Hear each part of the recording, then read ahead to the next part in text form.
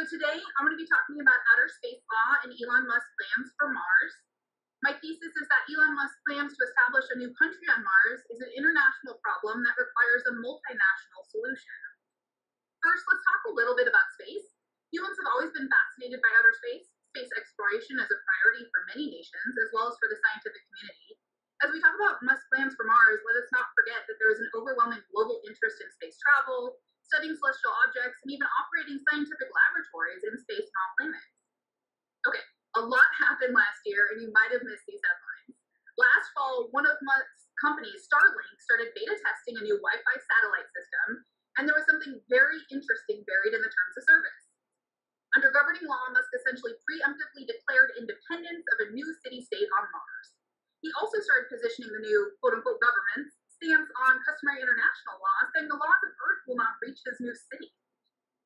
What kind of government will this be, you might ask? Well, apparently direct democracy, though there's plenty of reasons to think that won't actually pan out, like some of these. We don't have time for analysis, but let's just assume he's not actually planning on direct democracy. And Elon Musk says a lot of things, so how serious is he about all of this? Well, the SpaceX website already promotes this, and indeed, Musk is apparently planning to to Mars within the next five years and expects to have a city in 20 years.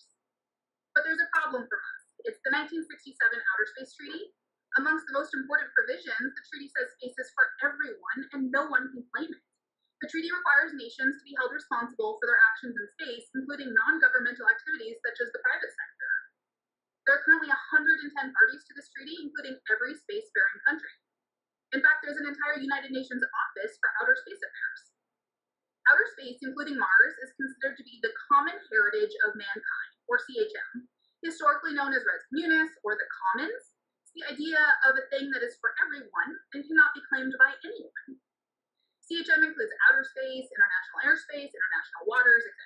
These are areas where activities are expected to be carried out in the collective interest of all states, and benefits are expected to be shared equitably. There are no claims of national sovereignty and thus no private property rights either. So why does Musk think he can claim part of Mars as his? Can he do that? Maybe. Under the OST, the US is supposed to prohibit their private citizens from violating the treaty. But he could become a citizen of a country that has not signed the treaty. However, some scholars argue that space as CHM has already become CIL, customary international law. This may be why Musk has already said he will not recognize the Earth, the laws of Earth. He may claim his new state is a persistent objector to Earth CIL, including CHM.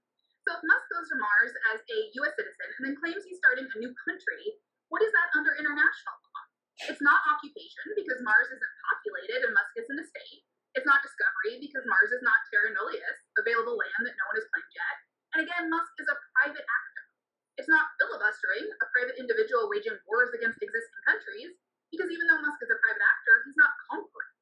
Musk's actions are similar to seasteading, the concept of establishing new countries in international waters, However, seasteading has never resulted in a recognized claim to a new country. The closest comparison of what he's doing is probably secession.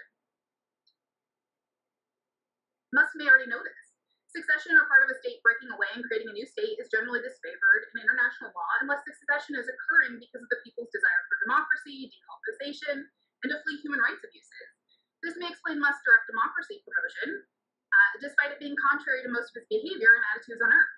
Further, Musk may use the recent international attention on the US's history of human rights abuses to his favor. It may also not be a coincidence that he's already asking his customers to agree to Martian Free Planet Declaration in his contract. He can then claim he has the consent of the people, another factor in the policy decisions around whether nations actually recognize secession as legitimate. Well, it seems unlikely most countries would buy this. It's possible some might recognize Musk's country for external political reasons. Iran and North Korea come to mind. Recognition is complicated, and simply as declaratory and not creating any new right them. And the US definitely won't recognize. Over 100 years ago, SCOTUS decided the US is a perpetual union of states and there can be no unilateral secession. So then what does the US do? It can take months and billions of dollars to get to Mars. Will the US or UN really send troops to Mars to rein in Musk after the fact? Further, Musk is building the first commercial launch facility in Texas, where he's launching prototype Mars rockets. Before, the only Mars capable launch facilities were governed by NASA. Texas has often historically taken adversarial positions towards the federal government, and Musk's location choice may not be a coincidence. One option to get ahead of all this is the U.S. can try to rein in Musk with domestic legislation before his journey to Mars. However, Mars can also always seek citizenship with a more lenient country on Earth. But this problem also isn't exclusive to Musk. He may just be the first to attempt to create a settlement on a celestial body and the most reckless. Jeff Bezos and Richard Branson already have plans for space tourism and interstellar lodging. To solve all of this, a multinational consortium could be created that regulates and enforces all travel to Mars and Martian residency. The consortium could govern all Martian activity, not just state action, but also private action. This would help ensure that benefits like scientific discoveries are protected and shared with all countries in line with CHM. Nothing like this exists yet, but with the steady emergence of commercial interest in Mars, it seems critical for the future. Elon Musk's Mars plans are a problem for everyone. We should all work together to establish a framework for these types of activities before it's too late. Thanks so much for your presentation. I think you were definitely facing an uphill battle with how much material you had to cover. So I think you did a really great job and just super interesting. Um, I'm really interested in the private property side of rights in outer space, kind of how to address that. Um, and I wanted to know if there's specifically been like a, a US case about private property rights. So there's definitely been a lot of noise. Uh, there's been a few administrative actions. There's there's been a guy that's selling plots on the moon for decades. There's a woman selling plots in the sun on eBay. There's a company selling stars um, at least for the guy selling the plots on the moon, their, their general response has been, this is why that phrase buyer beware exists. Like it should be well known there's no private property rights, so if someone's paying money for this, it's their fault for buying into it. But there actually was one case in, 20, in 2003. This guy named Greg in the U.S. decided he wanted to own an asteroid, and he filed a claim for it, and the government rolled their eyes like they always do.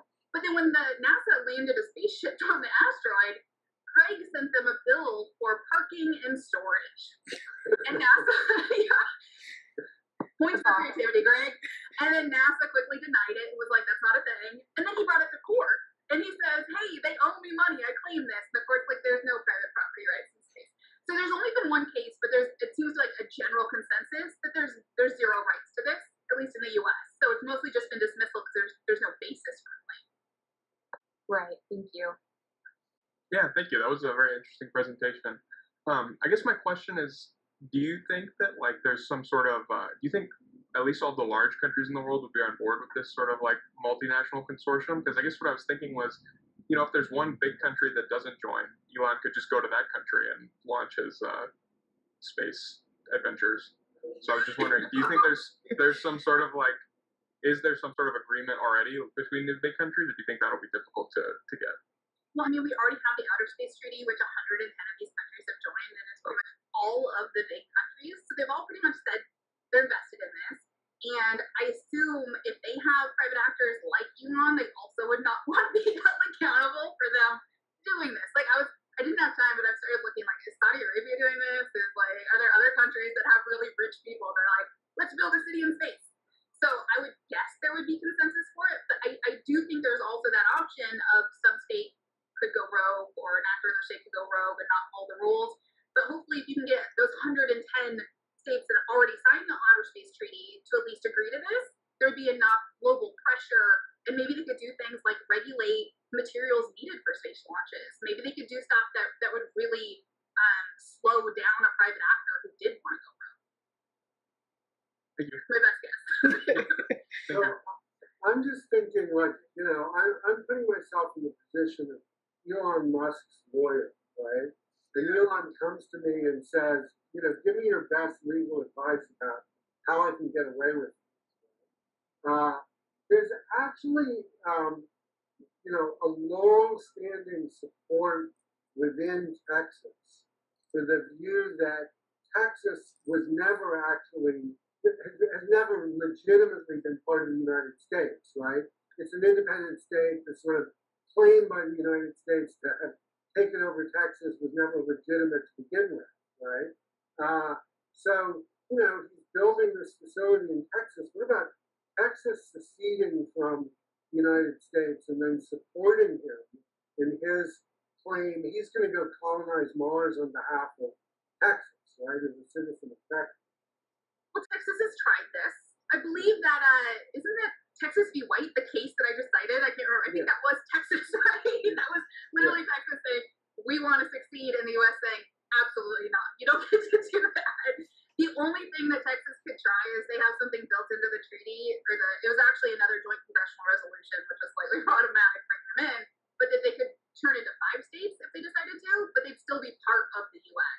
So I think they could try, but you know, 100 years ago, U.S. already decided like, no, Texas, stop it standpoint of certain people in Texas, that's just the, you know, the illegitimate Supreme Court backing up the illegitimate United States and its illegitimate claim, right? I think Uh, we should all bow down at Elon and his lawyers' creativity with this whole network of things they're building right now. I couldn't choose a better state to try to do that. I think it's entirely possible they could try. And I think the best bet from his lawyers would be like, if you can already get into space and get people out there, it'll be too late to rein you back in. So I think he's going very quickly and trying to go a little bit under the radar. So maybe he can do that. Possession is nine tenths of the law?